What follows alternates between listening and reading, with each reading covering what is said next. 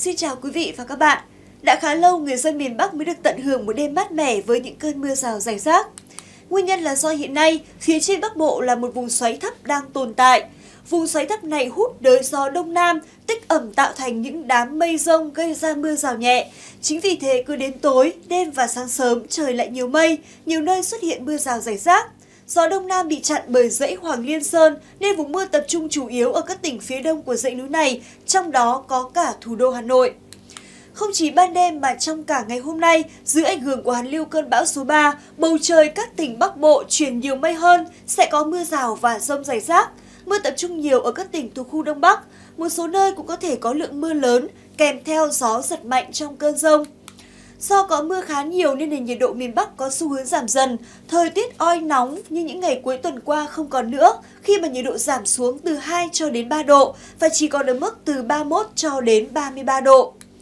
Những cơn mưa đem lại tiết trời mát mẻ, giúp cho mọi người nghỉ ngơi thư giãn, nhưng cũng sẽ gây trở ngại cho các thí sinh và phụ huynh đi làm thủ tục dự thi cao đẳng đại học đợt 1.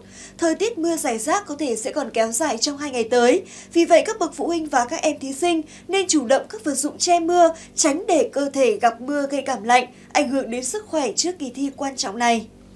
Không mưa nhiều như miền Bắc, song tại các tỉnh Bắc Trung Bộ, từ Thanh Hóa cho đến Nghệ An, Hà Tĩnh thì một vài cơn mưa nhẹ cũng giúp cho tình trạng nắng nóng giảm đi phần nào.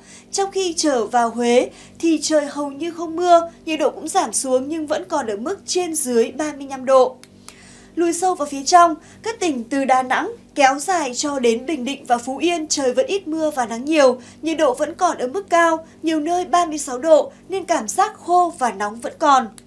Với tiết trời nắng nóng như thế này, các thí sinh và phụ huynh đừng quên mang theo cho mình ướt uống cũng như là vật dụng che nắng trong quá trình chuẩn bị cho kỳ thi tuyển sinh đại học đợt mùa sắp tới.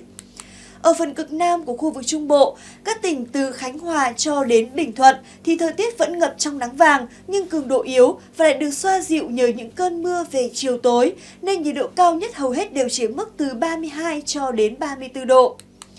Khu vực Tây Nguyên và Nam Bộ đang chịu ảnh hưởng bởi đới gió Tây Nam có cường độ trung bình, mưa rào và rông có xu hướng tăng lên trên toàn khu vực.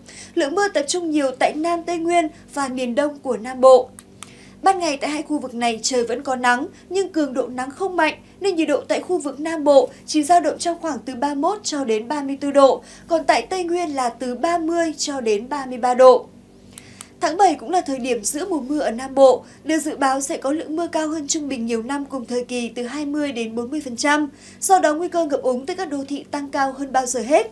Đặc biệt trong những ngày đầu tháng này thì các phụ huynh và thí sinh dự thi tuyển sinh cao đẳng đại học cần chủ động các vật dụng che mưa che nắng để ứng phó với kiểu thời tiết mưa nắng thất thường ở mảnh đất phương Nam.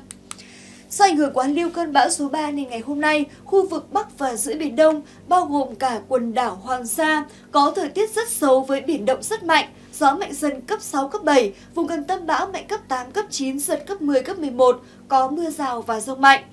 Trong khi đó, khu vực Nam Biển Đông, bao gồm cả quần đảo Trường Sa, thời tiết chuyển biến xấu với mưa rào và rông rải rác. Trong cơn rông cần đề phòng gió giật mạnh, sấm chớp và lốc xoáy. Như vậy là bắt đầu từ ngày hôm nay, dưới ảnh hưởng của hàn lưu cơn bão số 3, các tỉnh Bắc Bộ sẽ có mưa nhiều trong ngày và nền nhiệt giảm mạnh. Và để nhận thông tin thời tiết các tỉnh thành trên cả nước, quý vị hãy nhắn tin theo cú pháp DKSTT dấu cách tên tỉnh gửi 8030 dành cho thuê bao Viettel. Các bạn khác soạn tin DKSTT dấu cách mã vùng gửi 8930 miễn phí đăng ký. Còn bây giờ xin được kính chào tạm biệt và hẹn gặp lại.